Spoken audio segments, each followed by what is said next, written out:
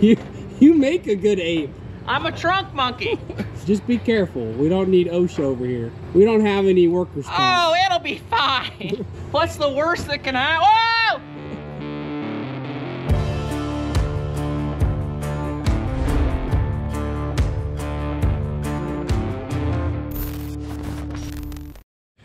All right, folks, so today's the day that we're gonna get rolling here. We gotta put the auger up yet to our drying bin. We gotta check a tire on the tractor or the grain cart, I can't remember. One might, one of the tires might be low. And David's on his way with the combine now. We have no idea what the moisture is gonna be at. It could be too, too wet. We don't know. We're gonna try it out and see. And if it's at a good, good moisture level, then we're gonna go all day and fill up this drying bin. And if it's not, we'll have to wait a couple days and and try again some other time. It's gonna get a little chaotic around here. We still got hog chores to do. We got we still got farmer grade meat orders we gotta pack. So it's gonna be a never ending circus around here for the next couple weeks till we get everything done. That's what makes it fun. That's what makes it makes it exciting. We're gonna get started, put this auger up first, and then check the tire pressure, and then get in the fields and start going. All right, here we go, ladies and gents. Got to get the auger put up to that bin there. And it's, it's a little bit of a tricky game because you got to back up enough to make the spout of the auger hit right where it needs to be. It's going to take a little bit of finagling. We get it every year somehow, so I think we ought to be all right. And you also got to watch out for this shed here. Don't want to hit that either. So we get it. Trial and error will get you a long ways.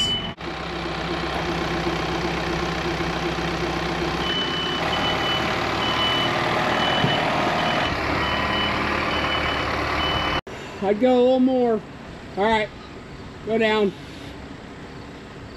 I'd say that's about good.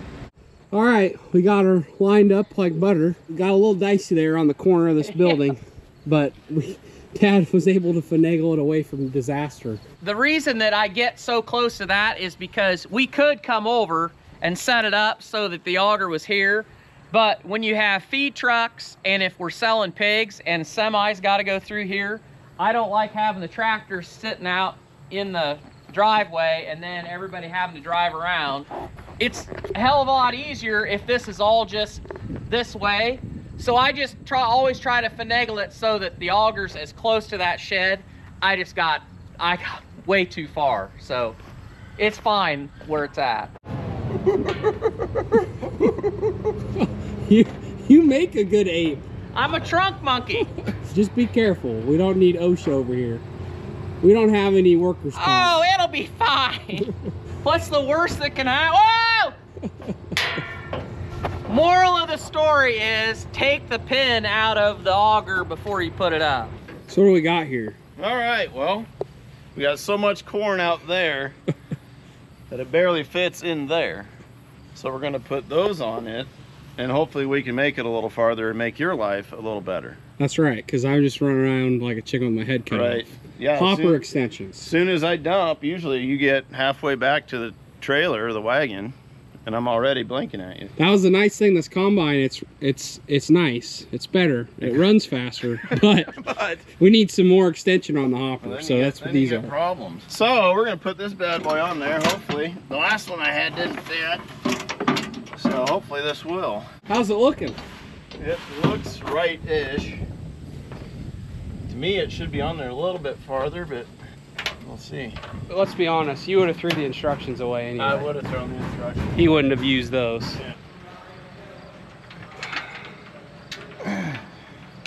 Got it. There we go. Perfect. Tork's firing up the auger, lubing up the chains, getting everything lubricated, making sure it's all running right. It's taking a little more time than maybe we thought, but it's gonna be worth it because like David said, when we're running the grain cart, this is gonna give me more time to unload and him to just keep picking corn. It's worth it. And I don't always want to be stressed out knowing that he's full and I got to come right back and get a load. So it'll be it'll be definitely worth the time spent up here. All right, well, I think we got them on the right way. We had to just, well, I say we, David had to figure out where they all went. But now he's moving up the shut off switch. So it shuts off a little higher. Doesn't do you any good to have the shut off switch stay where it's at. Kind of beats the purpose of putting the extenders on. We're getting there, slowly but surely. Maybe the corn will push it out and Hey, this'll do. it'll work. This will do. Got it figured out. They're on. We're in good shape now. Soon we will get started and see where our moisture's at and if we're good, we will be officially starting harvest today. Can't imagine what you're gonna say. I was just gonna tell you, don't get all cocky no matter what the yield is. Profit has already been spent. I splurged, I bought myself a new pair of gloves, and one of my boots is cracked. We're back to even right now. Nothing so for me. if you can squeeze your big feet into a size 10, then you can use these. Otherwise, I hope we don't need gum boots in this project. Used and abused. That's just what I am. Alrighty, folks, we're officially underway here. Harvest 2024. well, here's the deal. Nothing's happening. And the reason nothing's happening is because we got the ends off and you can kind of see where every tile line is. And that corn that's green, I think that's either, I mean, I think that's right on top of a tile line. This corn is mm, every bit of 27%, I think. The issue we got is David's combine, it's saying it's about 25. It sure doesn't feel like 25 and our handheld tester, it's testing like 28, 29, 27.9. He's trying to recalibrate his moisture sensor on his 660. His brain's starting to hurt a little bit, I think. Okay, so we got some end rows off, and I'm reading 25% on the moisture. I believe I need to adjust this or check and make sure that that's what we're getting. So I'm gonna get a sample out of the tank here and see if I can figure that out. So hold tight. All right, there's the honey hole.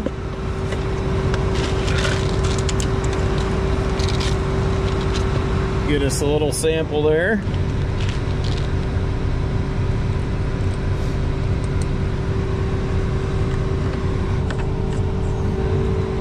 Hit the power button.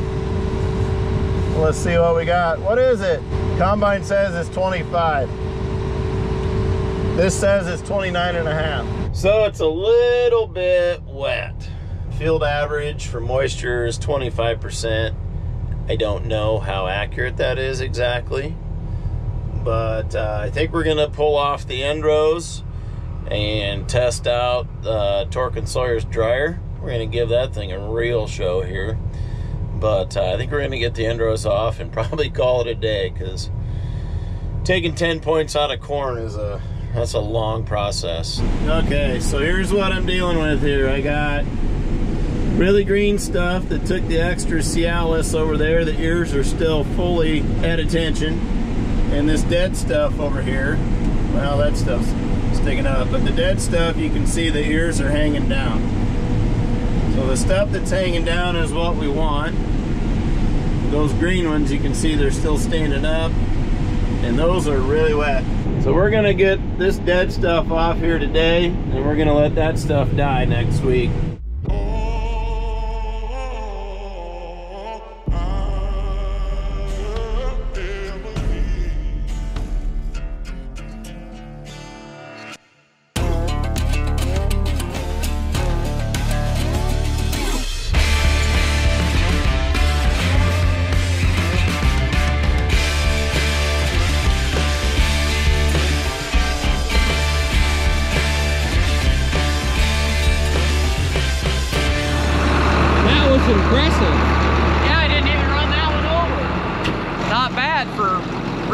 Coming out of, Coming out of hibernation. yeah. Yeah. How much longer you think? That was 21%. This is like 28 or 29. He's gonna take these ends off and then take the ends off along the road so that the neighbors all think that we've done something and then we're gonna quit. So Not that much going on. we'll probably pick another load. So 1800 bushel probably. So I was kind of wrong a little bit. I mean, we're picking corn, but it's nothing. It's just, it's not going to be a full day of it. which that's usually what it'll be once it's dry enough. But another downside of today, this is just part of harvest. Not everything goes right, you know? Got to put hopper extensions on, got to fix the bin before you get started, and your radios don't even work. First day, we're having radio issues, so our walkie-talkies aren't even aren't even working, and the corn isn't even dry enough. Getting these ends off will make when we do start going full bore, it'll just be nice to have the ends off because we can just get right into the field and just start crack-a-lacking and not have to mess around with the ends. It's a little timely to get the ends off and it's probably the most boring part of harvest for everyone involved. Combine driver, grain cart operator, running the semi, running the wagons, everyone involved. It's just boring because it's slow it's good we'll get it out of the way because today's kind of slow. Well, we've been going for longer than I thought. We are still taking ends off. It's probably my third unload that I've done so far. Got around 20,000 pounds on right now. Dad sheared the bolt on the auger, so uh, he had to run down and grab some parts to fix that. So wagons will not be unloaded until he gets back and fixes that. A lot of shit's going wrong this first day, which is good because, hey, get it out of the way today and we'll be off like a Swiss watch for the next few weeks with no problems. Cross our fingers. Oh, nuts.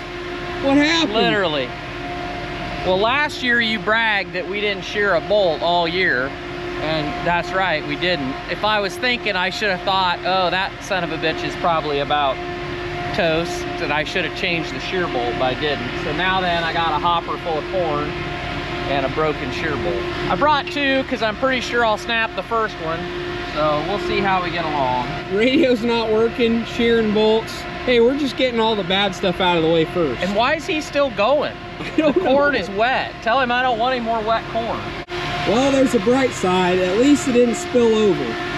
Because there's been times where we've sheared the bolt and didn't realize it, or one of us was checking the fans or whatever, and you come back over here and it's just pouring out. I'd say you did pretty good. You caught your mistake pretty pretty fast, so. Well, I wasn't very far away when it happened, but I just was like, because I wasn't even running it very fast. I, I was like, what the hell? We should be good for another year. Put it on your list. Fingers crossed. Make yourself a note. Put it in your notes. Okay. We'll see what happens.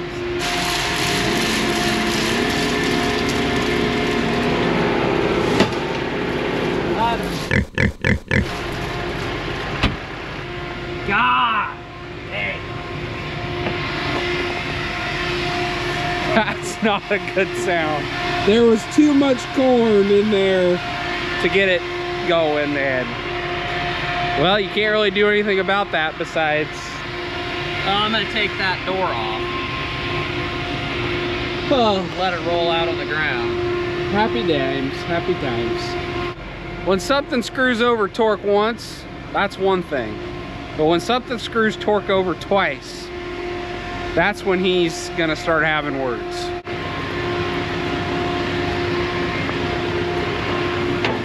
that just clear full of crap?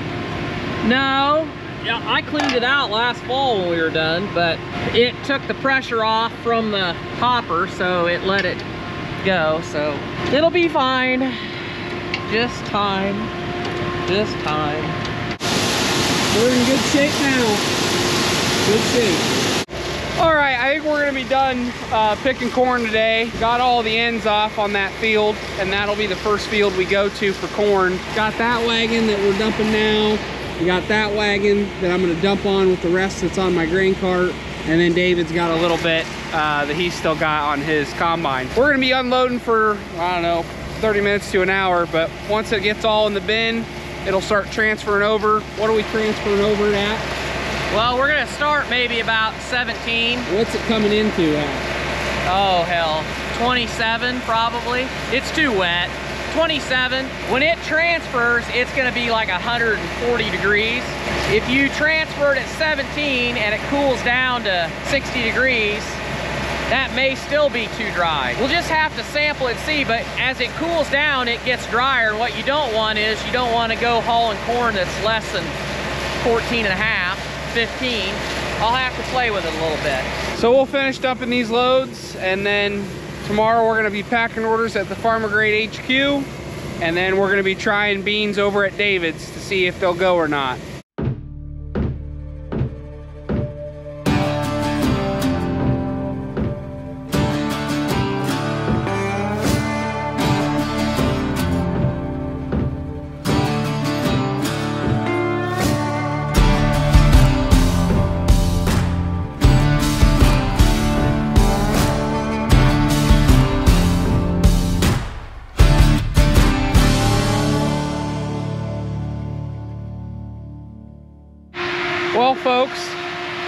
That's gonna call it a day. I say we had a semi-successful day for our first day of harvest 2024. I Had a lot of fun, had a lot of trial and error, but it made things interesting, so can't beat that. Thank you all for watching. We appreciate you guys. We love you guys. Like and subscribe if you like this kind of content, and we'll see you in the next one. Have a great day.